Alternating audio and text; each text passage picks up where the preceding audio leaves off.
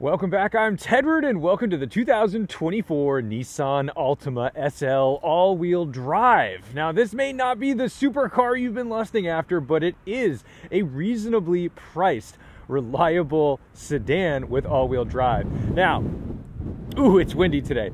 This one comes in at $37,000, but it starts at $33,900 after destination, add another $1,000. But this is basically the highest trim level you can get without going to the VC Turbo. This has a 2.5 liter naturally aspirated four cylinder, making 182 horsepower and 178 pound feet of torque, made into a CVT, of course, Nissan standard fare. It's simple. We, we, we get so caught up in all of the crazy technology, and people keep saying, I just want an old school car. I don't want all the screens and the wild technology. And while you can get some wild technology in the VC Turbo, front wheel drive only, but it does have variable compression. That's what the VC is pretty trick stuff, but that gets complicated. With this, you're getting a tried and true NA four cylinder, no turbo, just a normal engine. It's a little buzzy, a little bit of vibration comes through the cabin, but that's all right because this isn't supposed to be your luxury sedan. So it's very windy. Let's get inside first and just show you what it's like to live with because look at the size of this. Oh my goodness that is a roomy, spacious back seat. I mean, I'm 5'9", 5'10", we'll say 5'9", okay, I'll be honest. And we've had this seat pretty much where I would be, but like, if I was 6'3", I think I would still have room in the back of this vehicle. You've got HVAC controls down here, you've got USB-C and a regular USB, and you have that up front as well. This one has leather seats, and you get some cup holders with your armrest. What a comfortable, cozy, and spacious place to sit in a normal car. Nothing fancy, nothing outrageous, but well appointed. And I'm going to say something that I mean in the most generous possible way. This reminds me of my sister's 1995 Camry a lot of people look back on their cars when they were teenagers and think, oh man, I miss cars like that. Well, this is cars like that. It's obviously more refined and it's more technologically updated with better handling, but the simplicity and objective of this car is not to just wow you with some crazy luxury features. It's to be a spacious, usable daily driver that's going to be affordable and not kill you with with with expenses for maintenance because some hybrid battery died or some crazy system went wacky. Style wise, the new body style of the Altima, I shouldn't say new, it's been out since 2019, but I think it's really clean. I think it's a nice style. I think it works. And look at this cavernous giant trunk with the fold down 40-60 split in the rear. I mean, geez, you don't need more room than this. And if you do, well, it's time to buy an SUV. This little deck spoiler adds a little bit of cost. They've got the blacked out badges. I think that looks really clean and cool. Under the hood, there you go. Nothing too fancy. It's an engine. You've got accessibility to things. I think you could work on this vehicle. You could replace a battery without having to like dismantle the whole thing. And that's what you want to see in a car like this because if you're going to buy this, you're going to want to just put tons of miles on it and you don't want to spend a lot of money on maintenance. If you're a DIY guy, you're just going to be doing some oil changes, maybe a gasket in the long, far away future. Gluing us to the road on a 19 inch wheel is a 235 section tire all around. So first we're gonna go on a little commute and then we're gonna take it on some back roads and talk about what it's like to live with. Because this is a commuter car. This is what you're gonna be using for your day-to-day -day life. So let's get it started.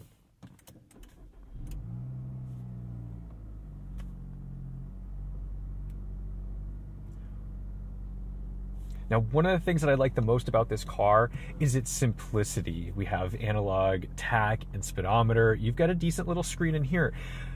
Some might look at these things as detractors. If that's not your thing and you want full glass display and everything, then like great. But for me, I actually genuinely like the simplicity of the Altima. I like having a normal tachometer.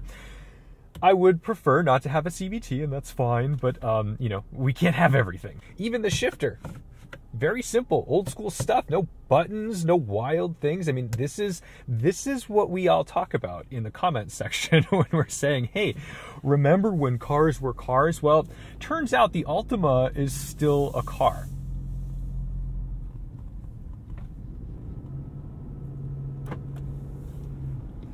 this CVT going to work for us. Not my favorite, but it's actually well tuned. I don't have that many gripes with this CVT. I thought I was going to be really like against it, but so far so good. The blinker. Hear that? It's very sharp.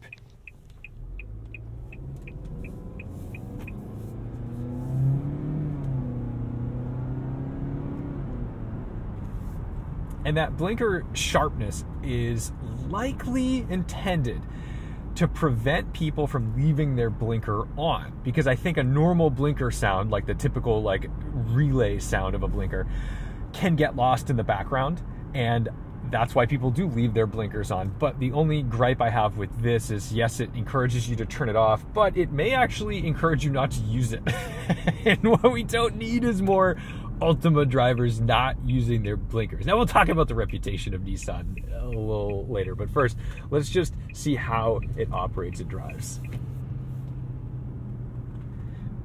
And one of the first things you notice is the steering. The steering, it's easy, it's weighted properly. The only problem with it is it's a little nervous this isn't a severe problem. I'm not describing this in a way that is like a deal breaker or anything, but it is something that I noticed that it is very easy to to be chasing the front of the car a little bit because a small input does make a difference. And I'm somebody who is an incredibly enthusiastic driver which means I'm very sensitive to throttle inputs, braking inputs, and steering inputs. I know that most people aren't. And maybe the average Altima driver is not somebody who's really taking their time to make subtle changes to their inputs. Let's hear an acceleration after this.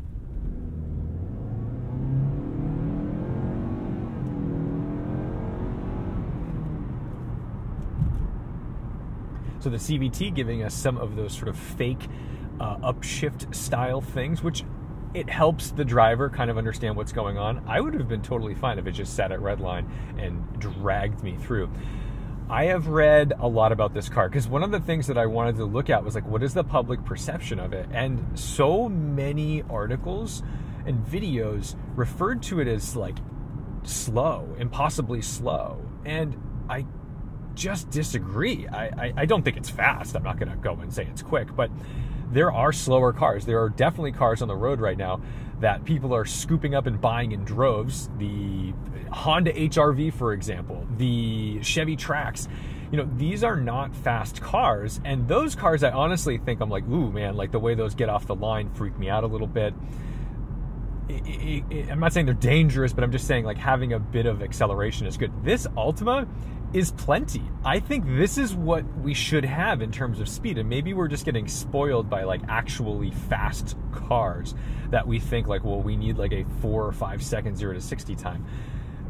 This is doing it in like seven and a half seconds. That's fine. I just do not see the need for the typical family sedan driver to have a faster vehicle. And maybe that's what contributed to the you know Altima reputation, if you will. You know, we we always have when cars get out into the world, a brand can't always control what happens to their reputation. They can't always control how that's going to look. I don't think that, for example, BMW sought out to have M3 drivers as you know the distracted non-blinker weaving through traffic in New York kind of thing. It just happened. I think that's just where you're at when a car depreciates that had some style points, some speed and agility and good drivability. It, it may attract a crowd that's going to sort of abuse those things and disrespect the road, disrespect the drive, as you might say.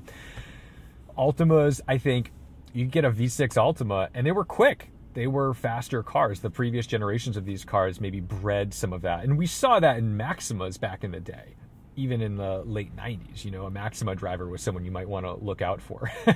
but I actually think that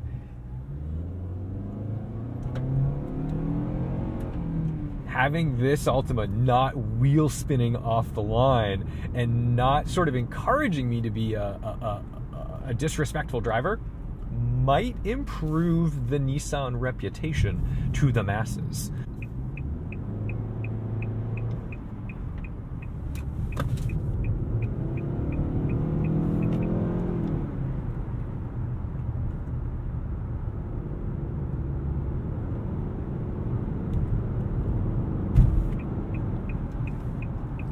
It is fairly agile in a corner.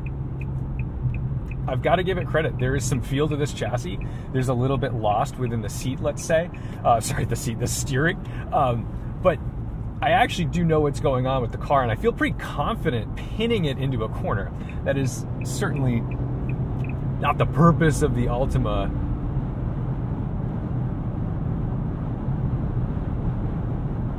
But it's not unpleasant.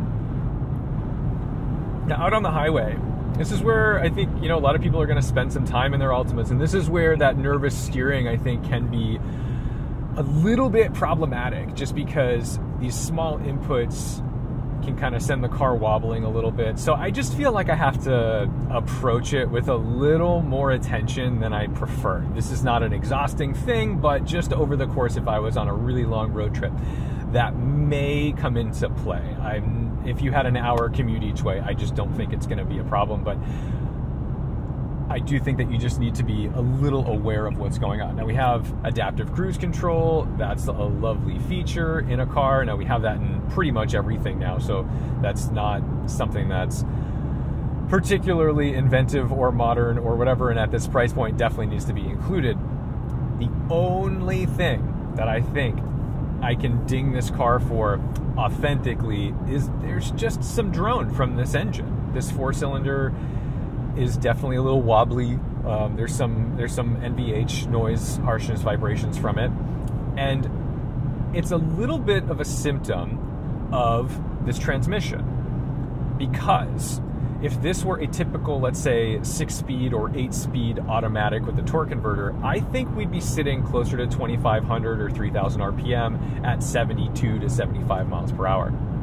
Because we're in a CVT and it is doing its darndest to keep me in a really low turning environment for fuel economy, of course it's going to have some noise and vibrations because it's essentially lugging itself to get there. So some of that is just almost intentional tuning on the part of of, of the engineering. Now, there is some wind noise. It's not the most quiet cabin, but it's also not something I would expect from a car in this segment to be ultra luxury. To me, the Altima is a back to basics, affordable, family friendly sedan. In the past, we should just get the elephant out of the room at some point during this video about the reputation of the Altima. Somehow, the Altima became like a reckless driver's dream car. we we have Facebook groups dedicated to this big Altima energy, and it's not totally fair, but it's not totally untrue. This body style, I think, does reduce that vibe. I feel like these cars are a lot more aimed at like normal responsible drivers than what we've seen from the previous generation.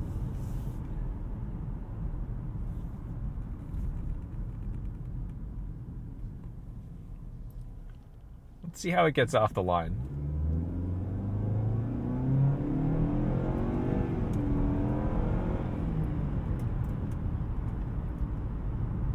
They must have refined this CVT over the years with this car because I've seen videos of this doing some wacky things from 2019, 2020. It behaves really well, and I am not a CVT guy. I usually really dislike them and I would do anything to stay away from them, but this is behaving normally. I'm not confused by it. If I go wide open right here, it's putting me in a reasonable sp- spot for torque pretty quickly. I'm not waiting for anything. And sure, is there delay? Yeah, but this isn't a GT3, it's an Altima. So I'm okay with that. We've got Apple CarPlay as we go over all the p- filling of the potholes. Sorry. That's the good stuff. Um, we've got Apple CarPlay. We've got an updated screen from the original launch of this car. And it works really well. It's simple. It's not the most stylish or impressive looking thing, but it gets the job done. Now let's pull into this neighborhood too, because I do want to show you one thing that's a little bit lame in this car, and that is the cameras. The cameras are not very impressive. Functional, yes. Impressive, no. So let's come over here. We'll use our non-fancy shifter. God, I just really love that this has normal controls. And there you go. This doesn't look that impressive. It gets washed out really quickly. You can see how much of a fisheye view this is, and you can see like the top of the trunk, the bumper, and you do get what is unique in a car of this price range is a top-down view. That's really nice for parking and things of that nature. That's not bad. I'm not complaining about the fact that you get this feature. I am just complaining about like you put these lovely features in here, but what you don't end up with is a nice camera, just put a slightly nicer camera into it. You can hit the camera button though, which is so nice to have a physical button really quick that just says camera. I don't have to go through some crazy screen because oftentimes when you need a camera, you need it now. You need it right now. You do not want to be waiting and like fiddling. You're like, dude, I'm taking up space in traffic and I'm just trying to p- parallel park in a in a in a efficient manner. Sometimes you just want that camera right there right now. Love that there's a physical button. So the Nissan folks have thought this through.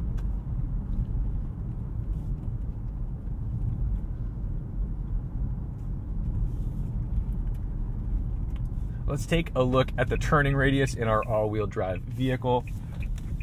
Sorry, UPS guy quite acceptable.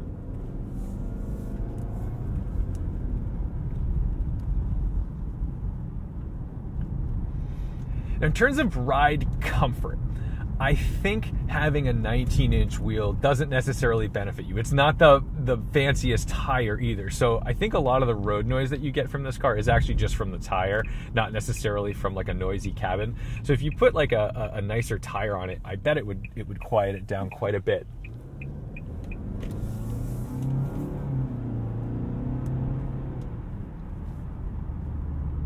But having a little more sidewall would likely go a long way in making this a more premium feeling cabin with a little more shock absorption just from the impurities of especially these New England roads.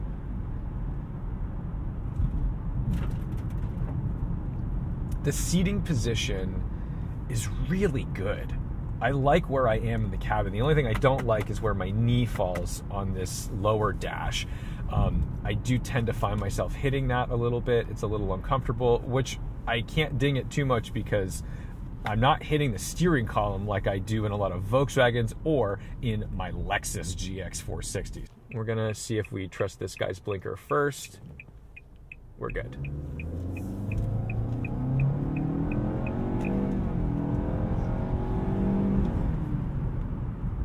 The top end of this four cylinder is really good. It pulls nice and hard to redline, and because you've got that balance between power and torque, it doesn't mean you've got to get all the way to the top of the revs to find um, some juice. But I do just really like the character of this engine, even though this is not the top of the line engine. And I don't know that I recommend going for the top of the line engine. I think it's a lot of money to spend on something that could potentially have a reliability issue. And in terms of value, that's where the Altima is such a power player in this game because you can get into an Altima with front wheel drive and this 2.5 liter for $26,000, $27,000. That's really a, a lot of car for the money. You don't need to get all the fancy trims that this has. You don't necessarily need the leather seats or the heated seats or all this stuff. You can get away with a lot on a base level Altima because some people just need a car. Some people aren't looking for their car to be an enthusiast vehicle or a luxury vehicle. Some people want a car that they can just park anywhere at the grocery store and not worry too much, but still respect what they're driving. This blinker noise kind of reminds me of old Hyundai. It reminds me of like when the Tiburon came out.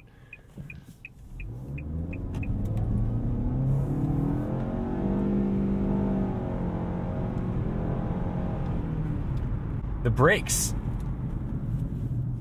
I think this is a well braked car. They're really intuitive. I know exactly what I'm getting when I go for the pedal. The initial bite isn't throwing me through the windshield, but I'm also not fearful that I'm not going to get the brakes that I requested.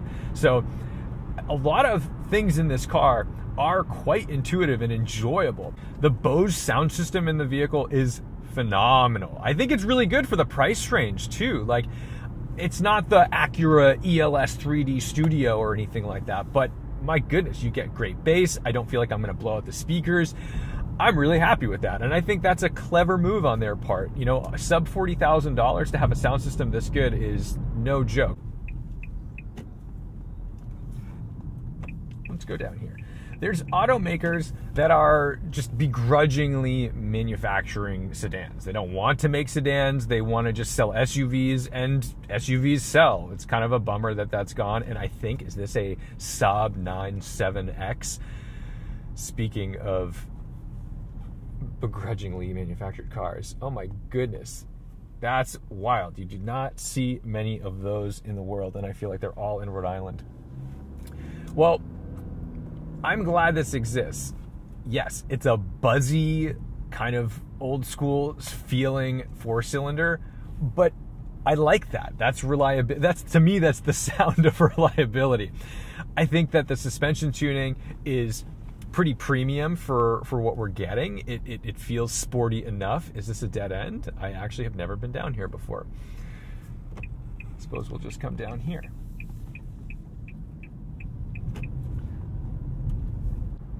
But in 2024, while all these manufacturers who are still begrudgingly making sedans are making them complicated, complex, they have crazy drivetrains, they have hybrid drivetrains, they have too many options, or they get expensive because their hybrid drivetrains start to add cost, weight, all of the things. The Altima still here, standing strong as a naturally aspirated, no turbo, no hybrid, just a reliable little engine mated to a CVT, now front and all wheel drive, giving you a car that you can work on, that you can trust, and that isn't a bore to drive. This will not excite you. You're not going to go canyon carving in your Altima unless it's a press car like me and you just want to go and see what it can do. But I think it's really valuable to have cars like this in the market. And for all of those who are going to complain about the Altima, who are like, well, it's not this, it's not that, let me just remind you. Sometimes those are the same people who are saying these things are getting too complicated, they're getting too expensive. I don't want all the screens. Well, look, you got to have at least one screen for your Apple CarPlay and your navigation. This makes sense. I know that not everybody loves a tacked on sort of thing in the dashboard, but it works. Let's take a look at what we do have though. We have a tachometer and a speedometer that are not digital screens. Wonderful. A funky tach, honestly, because there's no one, it just starts at the two. We have a gear selector that isn't a button or some crazy scrolly fancy wheel.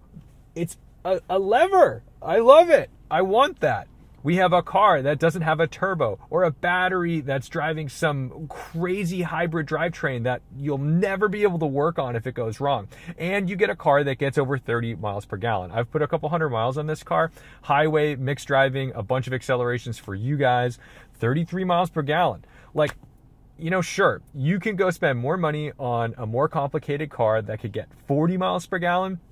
Is that worth it? Is it worth spending that much more money? Does a pretty good job putting the power down too. Not a hint of wheel spin from this all-wheel drive system. Now, maybe that's because it doesn't have all that much torque down low, but uh, it's doing the job. So I'll admit, I 100% went into this car thinking like, oh, what am I going to say that's nice about it? And upon first drive, I wasn't thrilled. I wasn't disappointed, but I wasn't thrilled. The more I drove it, the more I came to like it. And that's a good thing because it's much better than the inverse, where you're like, oh, this is a good car, and then you start to find all the things you dislike about it. I find myself enjoying my drive in this car. Am I looking forward to it? No, I'm not like, oh, I have to get back in my Altima and go for a drive. But I don't get into it and think it's sucking the life out of me like some other sedans in the market. So I think that's going to do it for my Nissan Altima review. Thank you guys so much for watching, liking, commenting, and subscribing. Don't overlook this body style. I know that it's been out since 2019, and I know that other manufacturers have completely revamped their lineup and come out with brand new generations of some cars but some tried and true old school stuff is sometimes what we need to recalibrate and and not go overboard with complicated technology that could very well be obsolete in the very near future. As far as I know, we're still going to have gas powered engines, and a non turbo four cylinder is probably going to run for a very long time. Thanks so much for watching, liking, commenting, and subscribing. Cute dog. Don't forget to respect the drive, and I'll see you in the next one.